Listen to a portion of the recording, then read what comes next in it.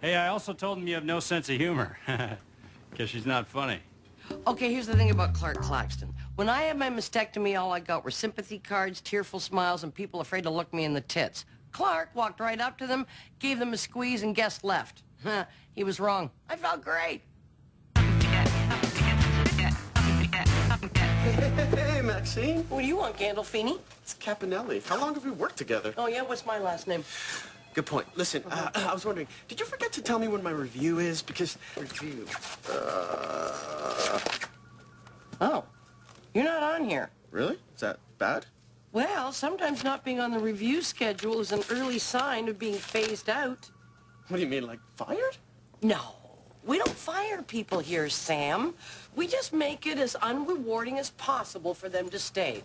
And eventually they leave, broken-willed and emotionally destroyed. Oh my God! I gotta mm-hmm. talk to Kaplan. Oh, I wouldn't do that.